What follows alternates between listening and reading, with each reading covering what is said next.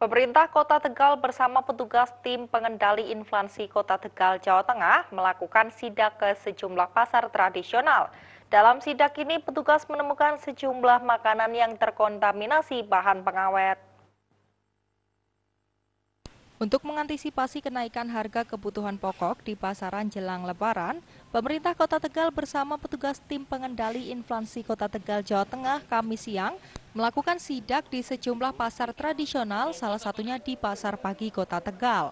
Petugas mendatangi sejumlah pedagang seperti pedagang cabai, sembako, serta pedagang daging. Dari sidak tersebut, petugas belum menemukan kenaikan harga yang signifikan dan sejumlah harga kebutuhan pokok masih tergolong stabil.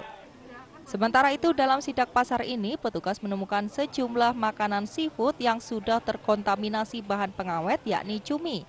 Hal ini diketahui setelah petugas melakukan pengecekan sampel cumi tersebut.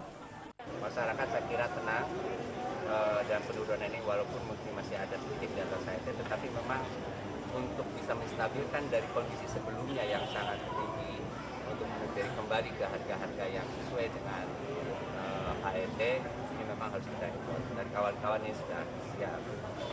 Terus tadi kita juga menurunkan kawan-kawan dari laboratorium kesehatan. Temukan ada dua jenis uh, bahan makanan yang terkontaminasi.